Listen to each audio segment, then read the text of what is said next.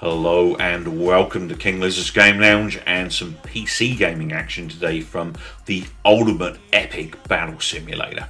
How rad does that sound? So this game basically is a new release. It's available on Steam.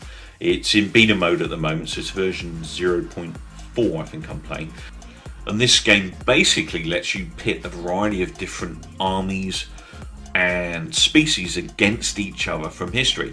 So, for instance, we've got T Rexes in here, we've got kangaroos, we've got World War II US Army soldiers, we've got Spartans, we've got Romans, we've got Knights, we've got Persians. There's quite a selection in here that you can pit against each other, and you can even define their formations and size on the battlefield. The battlefields are quite extensive, of which at the moment there's only three to choose from. But it's you know it's a good start for an early game. So what I've done here you know, being a fan of battles and knowing a bit about history, I thought I'd chuck in my own version of 300. So I've got the historically correct 298 Spartans. Apparently, two of the Spartans were off watching Walking Dead or Game of Thrones or something. So the 298 Spartans in the historically correct version of the battle, and 1,500 Greeks. Now, I couldn't choose the actual type of Greek soldier I wanted to choose, so what I've done is kind of to even things out is I've chosen 1,500 Persians to support the 298 Spartans. And then I've got an attacking force of 10,000 Persians here coming into battle. Now, what I did deliberately, because obviously the original battle was on a narrow pass, and I wanted to create something that was a similar effect. So, what I did was split the Persian army up to slow it down a little bit, and also I put our Spartans inside the castle that's on top of this hill, and then the supporting Persian forces in two groups or two armies, if you like, around the castle so that they can create this funnel effect. Because as you go up this map into the castle, it kind of narrows down into this corridor you're seeing here. So it's kind of giving that corridor battle so this is as close as I'm going to get to that narrow corridor situation. Now, unfortunately, there are multiple ways into this castle, so chances are we're probably going to see some other battles form around the castle, I suspect. So it won't quite be one narrow corridor battle like it was in the original, but what the hell, it's all for fun. So I hope you enjoy this. I'll be back at the end of the video. Just to be clear, this is the last 24 hours of the battle. So the original battle started out with 4,000 Greeks and 300 Spartans, just to be historically correct.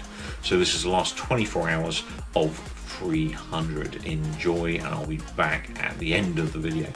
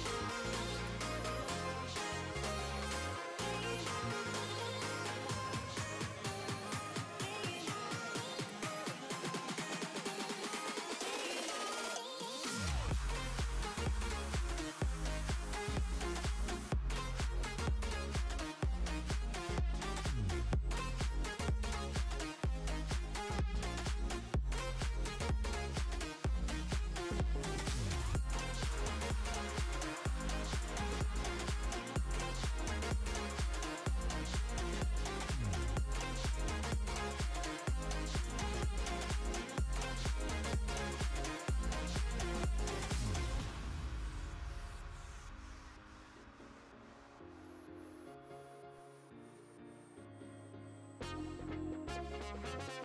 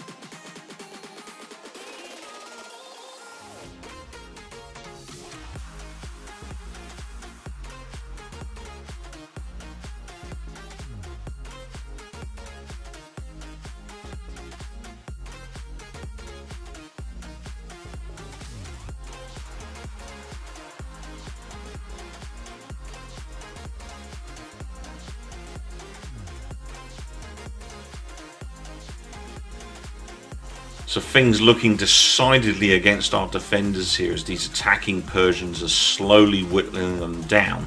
However, it's been a very courageous and honourable fight from the Spartans and the Greeks just like it was in history.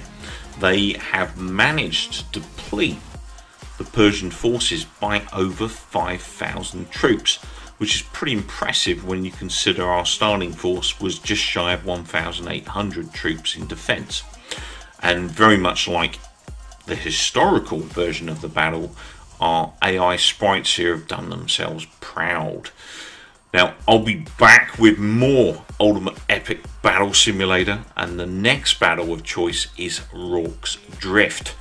What I'd like you guys to do for me is if you enjoyed this video, or you want to see another reenactment, please give me some comments at the bottom of the video and I'll put those battles together and make them reality so that we can see what the outcome will be.